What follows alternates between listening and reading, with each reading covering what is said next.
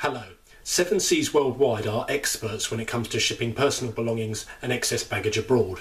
And over the last few years, there's been one thing in particular that has made us the first choice for many people all over the world. It's called an International MoveCube, and it looks like this. The International MoveCube is basically this big, sturdy container which we tow along on a trailer and park outside your home for a few hours. You then load the International MoveCube with your boxes, and uh, later on we'll come along and say, good job loading the boxes, and then take it away again to put on a flipping big container ship. The next time you see your stuff will be at your new address overseas. Please note that this next illustration doesn't actually happen.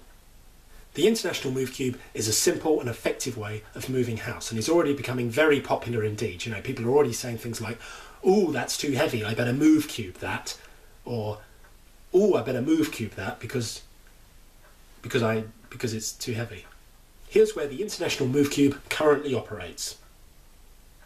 And if your geography is not too good, United Kingdom, Australia, New Zealand, South Africa, Thailand, Hong Kong, China, and door to door for Beijing, uh, lots of other places. That's it. Tar.